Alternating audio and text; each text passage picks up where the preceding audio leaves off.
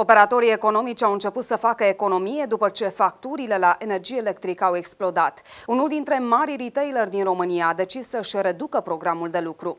În această situație se află numeroase magazine care au început să facă modificări pentru reducerea consumului la energie.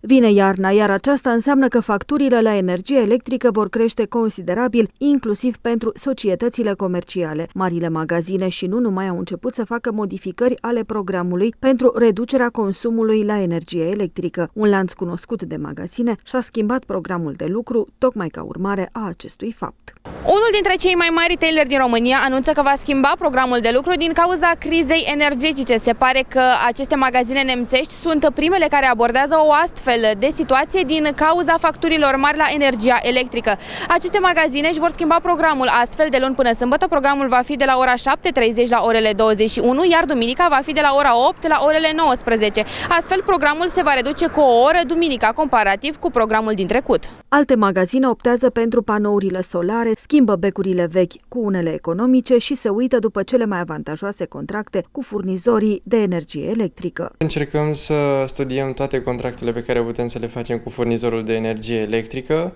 Explorăm de asemenea să punem niște panouri solare ca să putem să facem economie și în celelalte magazine deja încercăm să implementăm și să punem becurile LED, să le schimbăm pe cele neon și chiar să montăm și câteva, câțiva senzori de mișcare.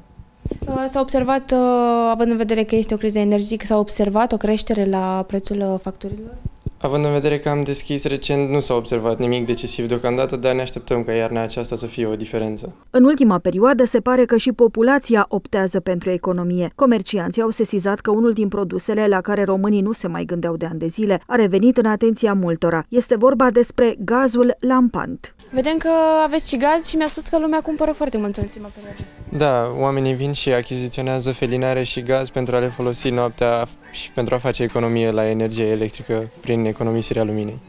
Am înțeles că veți comanda tot mai multe în ultima da, chiar în ultimul timp încercăm să adaptăm produsele la toate cerințele clienților. Sunt magazine care iau în calcul să lumineze mai slab anumite raioane când nu sunt mulți clienți. În același timp, reprezentanții marilor magazine cer sprijinul statului pentru ca să nu fie nevoiți să ia măsuri drastice.